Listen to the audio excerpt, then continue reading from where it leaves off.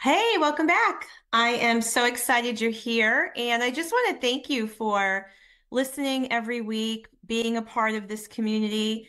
I know you have a lot of things going on in your life. So, my intention is to always make sure that when you listen, you're getting things that are valuable, that you're walking away with new ideas, maybe a change in mindset, maybe something that's going to inspire you that's what Monday Morning Mojo is all about. It's about listening and connecting with a message that is going to put you on a new path, maybe, or help you to look at what you're doing in a different way. So it's exciting every week to share this podcast with you. You can also make sure that you are part of our Facebook group, which is Monday Morning Mojo, the podcast. So uh, we'll have a link to that in the show notes so that you can be a part of the community. I share content there uh, every day. So I'd love for you to be a part of that. And if you're finding value, definitely share this, pay it forward, let your friends listen, send them a link to your favorite episode, share the group with them. Um, my goal is to grow that community so that we can continue to connect and inspire each other. And I had this amazing opportunity just a couple of weeks ago. I was at a uh, Keller Williams National Conference, a real estate conference, and the keynote speaker was none other than Tony Robbins. And it was definitely a thrill to hear him speak live and in person. I've been following him for a long time, and I'm sure that you're all familiar with Tony Robbins. He's been helping people overcome their challenges for probably, I would say his career is probably at least 40, 45 years now. And um, I think he started in his early 20s. I think he worked for Jim Rohn. You probably know as an author and motivational speaker who has since passed away, um, but really one of the founding um, fathers, I'll say, of the personal development movement and really brought a lot of attention to positive psychology and helping people see through a different lens. And so Tony Robbins worked for Jim Rohn, and uh, that really started him on his path.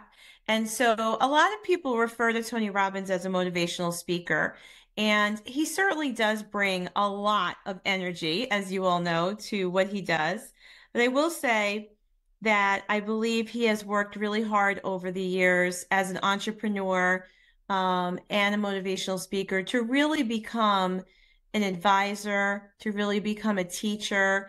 And it was really quite a great experience to sit and listen to him. And I want to share some notes with you from my time with Tony Robbins. And he was right up front in uh, the section where I was sitting. And it was really a conversation about the choices we make in life. And that's where I'm going to start. And what Tony started with that day were uh, three decisions that we can all make. So I'm, I'm going to teach you uh, what I was taught that day, right from my own notes. And we'll put these questions also in the show notes for you because I know a lot of times you're listening to this when you're driving. If you're like me, I listen to podcasts on the go all the time. So I get it. You might not be in a place to write this down, but we'll put it in the show notes. So there are three decisions Tony says we all make that control everything that we do.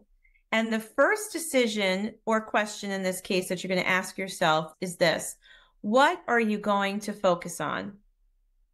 What are you going to focus on? Because what we know to be true is that whatever you focus on expands. And the more attention you put to something, the more energy you give it, it really gets bigger in your life. And so as you put the focus on something, focus becomes feeling, becomes emotion. And you have the power to make a decision right now about what you're putting your energy to.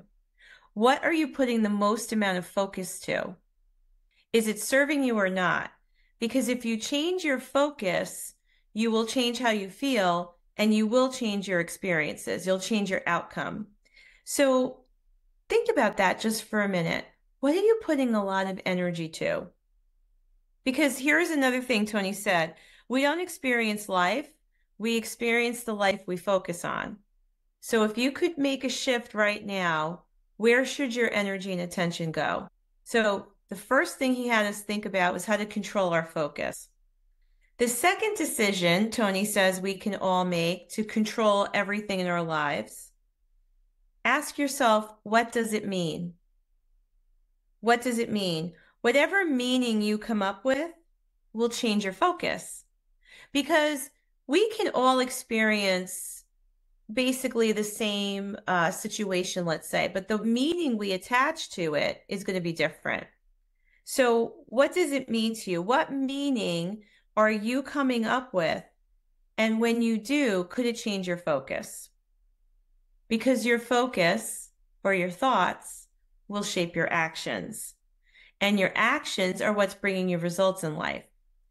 So, the third question that we need to ask ourselves, or really it's a question that leads us to making a decision, is this number three, what are you going to do? What are you going to do? See, we have to understand that we have control and we probably have more control than we want to acknowledge on most days. And yet, a lot of times, our focus can go to the things that are out of our control. So, if we want to bring back our own personal power, then these three questions, these three decisions that we can make that can change everything really puts us back in that power position, puts us back in the driver's seat of our own life, right? And so those three decisions can change everything. What are you going to focus on? What meaning will you attach to it? And what are you going to do about it? Tony Robbins went on to share some other thoughts that I thought were really huge. And we've talked about some of these things here on Mojo before. He said that 80% of your success is mindset and 20% is strategy. So while there is a lot of value put to business planning, strategic planning, getting into a process of how to move from point A to point B, that is certainly going to be important. But what will determine your success more than your strategic plan is how you're thinking about it, how you're thinking about you and your ability how you're thinking about your potential, that will have a bigger impact on your success than the strategy itself. And we see that's true all the time, right? Because we can all have the greatest business plans. I'll just take a step back and look at my own company, right? You all know that I am affiliated with Keller Williams. And so, as a general manager of three large real estate brokerages, we talk about strategic planning all the time. We talk about business planning every day. And we have hundreds of thousands of agents across the country that all have access to the same information. They're all being encouraged and guided and coached to create these strategic plans and business plans, and many of them do. And yet, why is it that some achieve success at a higher level than others? We can look at that in any industry and find that it's true. And it's because it comes back to mindset. It comes back to the way that we are thinking because our thinking is what's shaping our reality. So remember, 80% of your success is mindset because when you change the way you think, you can change your life. You can convince yourself of anything. And so rather than taking a lot of time to convince yourself that something won't work out, can you take the same amount of time to convince yourself that it's all possible? Right? So if we can focus more on what we can control, we can put our focus and energy on the things that we actually have the ability to change. When you focus a lot of your energy and your time on things you can't control, it creates stress, right? Because it it makes us feel like we're helpless. So I think it's important for all of us to know if we're we're determined to be people of achievement, if we're determined to create great outcomes for ourselves and for our businesses, our careers, and, and other personal areas of our life, then it's so important to pay attention to what you're giving a lot of energy to. That was the core message in the time that we spent with Tony Robbins. He probably spoke for almost 90 minutes. And it was all about this subject of focus because what you put energy to is really determining your results. So if you want to feel more fulfilled and more happy in life, if you want to feel more successful, where can you focus your energy? On the things in your control.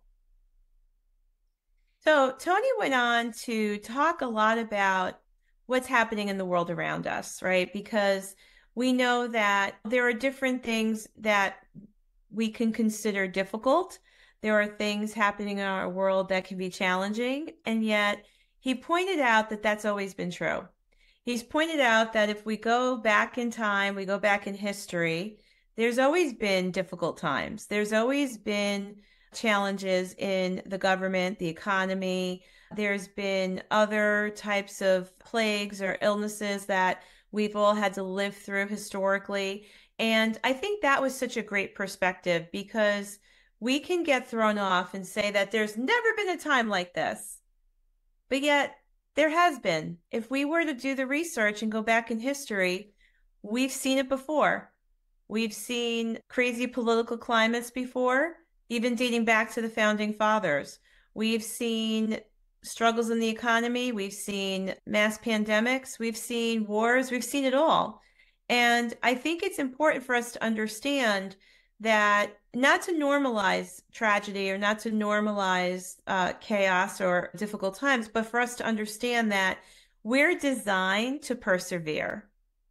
As human beings, we have the ability to overcome. And we should never forget that. Even when we're going through something difficult, it's important for us to know that we have the ability to figure it out. And he also pointed out that our greatest success can come from tough times. And I know that's true, right? Because how hard do we really work when things are easy? How hard do we really plan and strategize when business comes to us, right? How strategic are we really being, right? How big do we think when we feel like we're achieving on a lot of levels or that our business is thriving, right? How motivated are we when times feel easy? So I think that that is really a huge aha, something to pull away. If, if, if you take one thing away from this podcast, it's that your greatest success will come from your toughest times. That your adversity is here to teach you something, right? And it's important for us to realize that we have to expand our thinking and not be so short term in our thinking, right? Because we have to look at the big picture. This is something I want to quote from Tony Robbins. Most people think in the short term. They overestimate what they're going to achieve in a year and underestimate what they can accomplish in a decade. So, what I think that Tony is saying is if we can create a bigger picture around vision and goal setting, could we also see how much our lives could grow in the next several years? And that everything that we do starting today is progress, is moving us in that direction. Because remember this your thoughts shape your actions, and your actions bring results. So if you can be consistent with the way you think, if you can be consistent in what you do, you will see consistent results. And over time, that is what's going to move you to your next level and beyond. I mean, think about where you were five years ago. Think about where you were 10 years ago. I guarantee you could see a lot of growth and movement. I certainly am not the same person I was five or 10 years ago. I'm not the same person I was six months ago. And so I love that he brought that into perspective too. So remember, you can take control of anything in your life when you make those three decisions that we talked about. What are you going to focus on? What meaning will you attach to it? And what are you going to do about it? Tony Robbins was really, I think, on point that day because he talked about what makes the difference in living a quality life, right? And really, what does that mean for you, right? Going back to that question is what what meaning do you want to attach to it? So if we were to sit down with a hundred people in the same room and I ask the question, how do you define a quality life? I'm pretty sure I'm going to hear a hundred different answers because no one can determine that for you but you. So that's an amazing question is how do I define a quality life? What is important to you? And remember that where you are now doesn't necessarily mean that you're going to be there in another few years. You know, biography is not your destiny your previous circumstances or your current circumstances don't define who you are. The decisions you make are what define your future, not your past.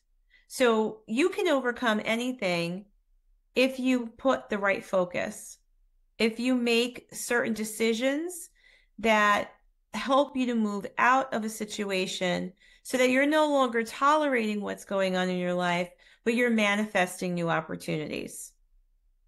The last thing I'm going to share with you today from my time with Tony Robbins was the conversation we had about patterns and how to understand that what's really a key to your success is the amount of energy you put into anything.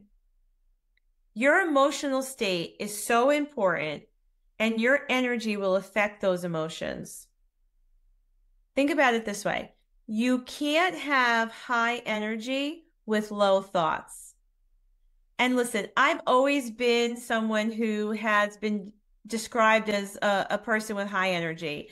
I can't help it. It's who I am, it's how I show up. And I believe that energy is a tool. I can't destroy it, I can't create it, but I can certainly use it and I can certainly move energy around. And I believe I've come to learn and understand that everything is energy. And when you really understand that, and you also recognize that bringing in some energy into what you're doing will elevate your thinking, will open you up to possibilities, you'll see how you can use that as a tool for your own manifestation of what you want.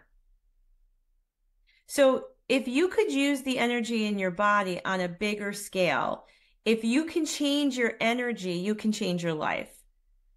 And what Tony talked about that day was really interesting. He said, We have gotten used to a lower level of energy being normal, maybe since COVID. So think about that for a second, right?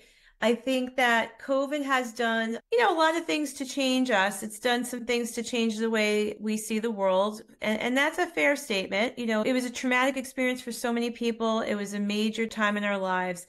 And I think that Tony's right. I think that some of us have gotten used to a lower level of energy being normal since COVID because we've allowed that sense of what other people are doing around us to bring our energy down because we think it's normal, right?